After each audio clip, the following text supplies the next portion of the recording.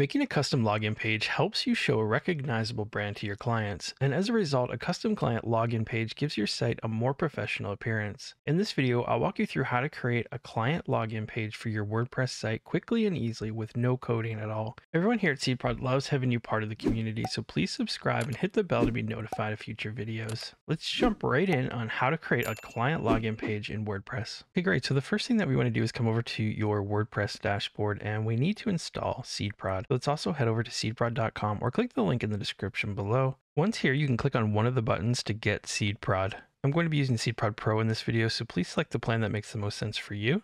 And then let's go ahead and log in after you create an account. On the left-hand side, enter your email address, your password, and click Login. Inside your SeedProd account, you want to click on Downloads. It's the second tab here. And let's click on the big orange button here to download the plugin. You also see the license key here in the bottom left hand corner. Let's go ahead and click the icon here to copy that. We can close this window. Back in WordPress, let's come over to the left hand side under plugins and add new. And up at the top, let's go to upload plugin. Here we have the choose file, so you can click this and select the zip file that we just downloaded. Or if you're using the same browser as I am or similar, you can click on this and drag it and drop it on the choose file button. Next, let's go ahead and click on install now. Next, let's go ahead and activate the plugin. SeedProd's going to ask you for a license key. Let's go ahead and paste that right here and click on verify key. If everything went successful, you should see a green success message here in the top right corner. Again, if you're using the same browser similar as I am, you can close this tab at the bottom.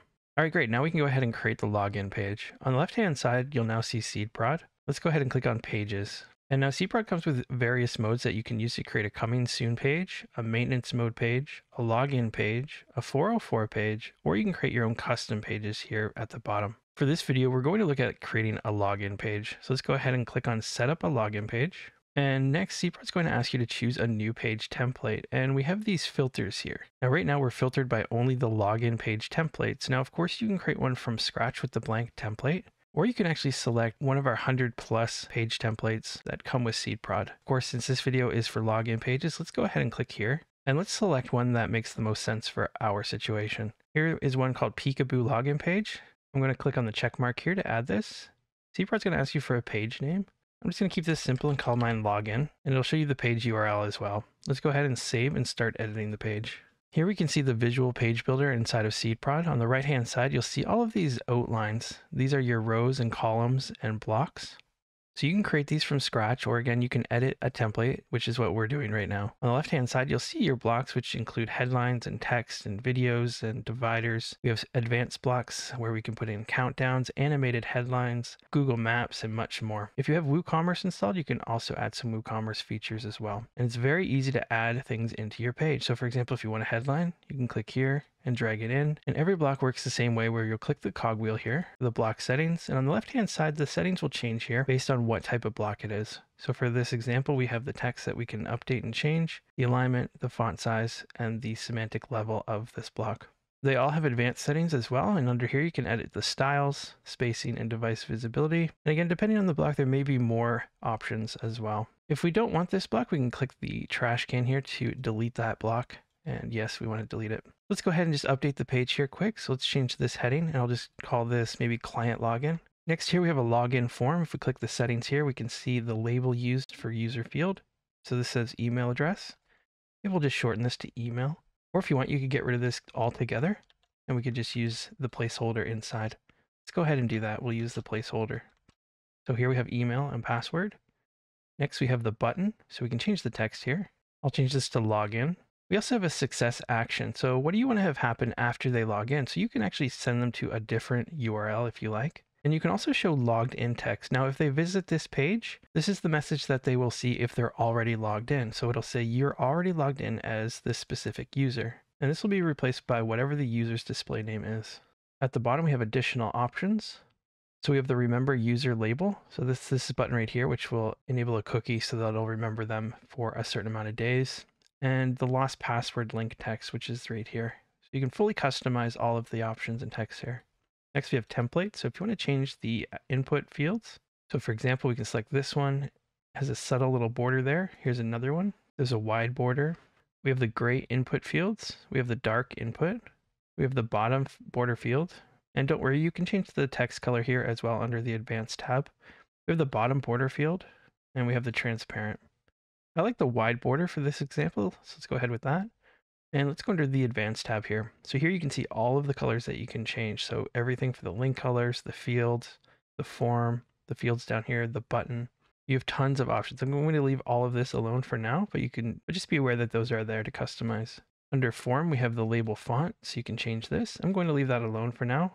You have the text size, the row spacing, so you can maybe bring this a little closer or further apart if you like. You have the alignment, you can put that on a different side if you like. I'll put this on the right side. Under fields, we have the fonts, the field size, so you can make these very large if you like, or small, whatever your preference is. Label spacing, we don't have labels right now, so we're just going to leave that alone.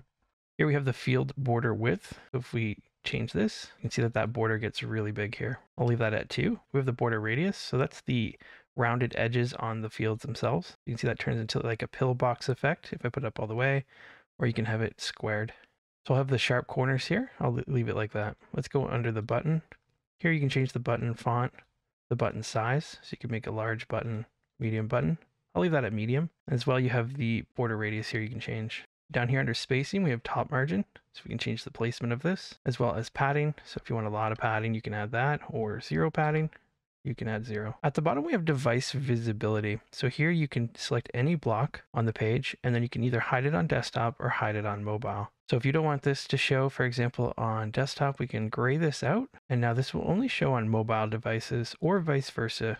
If you don't want this to show on mobile, you can hide that on mobile. Since we're using a desktop, it's not grayed out.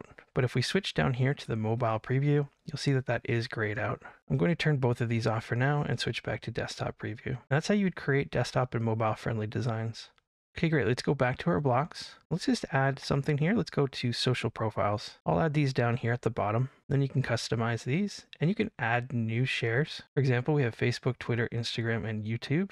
Maybe we don't have, for example, an Instagram page. We could add a new one select the type, and let's go ahead and add Snapchat. Down here at the style, you can change this, default or stacked. You can change the size, make them large. You can change the alignment. Under templates, we have different variations of these. So there they're all gray and white. You can have the colors, whatever you wish. Under advanced, you have all the different styles and options here as well. I'm going to leave these alone how they are now.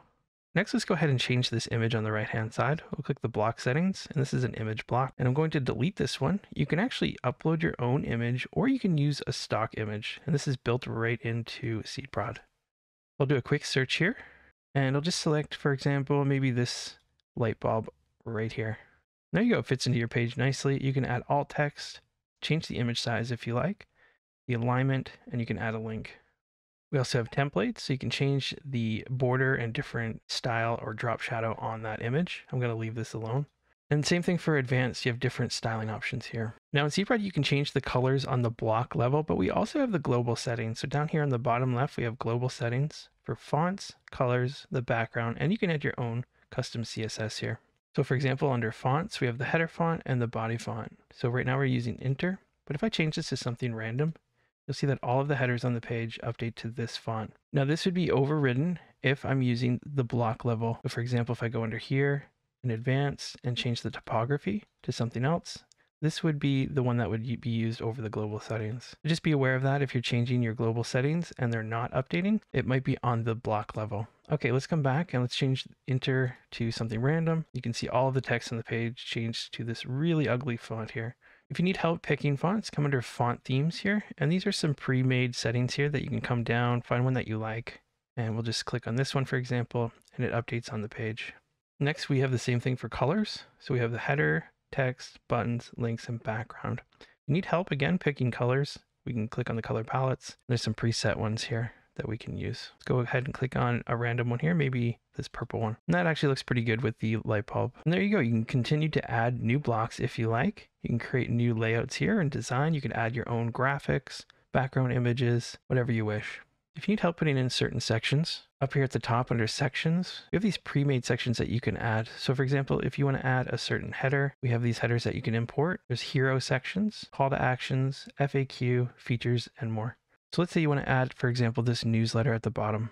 We'll import this and you can see that it adds this whole section at the bottom. You just click on the section and then make your changes here on the left hand side. You'd maybe get rid of all the spacing or you could simply drag and drop this and put it into a different section if you like. If you don't want this and you made a mistake, you can either delete the whole section or you can click the undo button here. So SeedProd comes with an undo and redo button.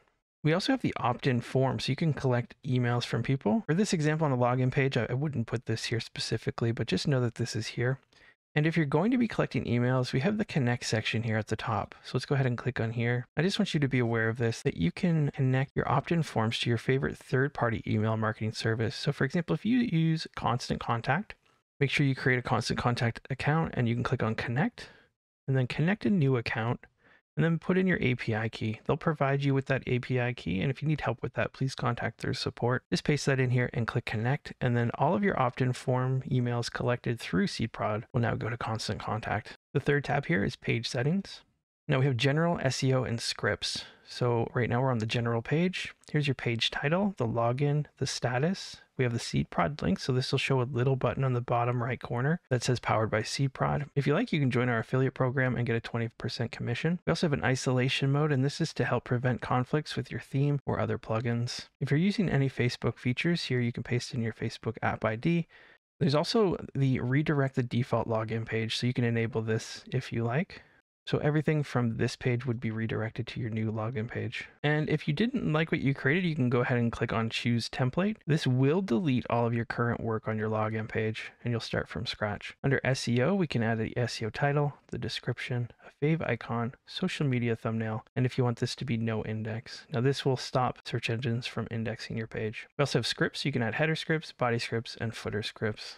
All right, when you're happy with your page, just go ahead and save it first, and then we can click the little button here and publish this. And there's one more thing we need to do to activate this. So let's go ahead and click the X here. And if you remember back on this page where we selected our page to edit, you might have noticed this little toggle at the bottom. So this is an important step. Right now the login page is inactive. But if we click this toggle on, you'll see that it is active. And there we go. We can see the login page that we just created. This is fully customized. Right now you'll see the message that it says I'm logged in as SeedProd. So if I go ahead and click the logout button, now we can see the full login form here. And there you go. That's how you create a client login page in WordPress with zero coding. Now that you know about how to create a client login page in WordPress, maybe you'd like to check out this video on building a Netflix landing page clone with WordPress, which will help you learn more about the powerful SeedProd features. Thanks for watching, and I'll see you in the next video.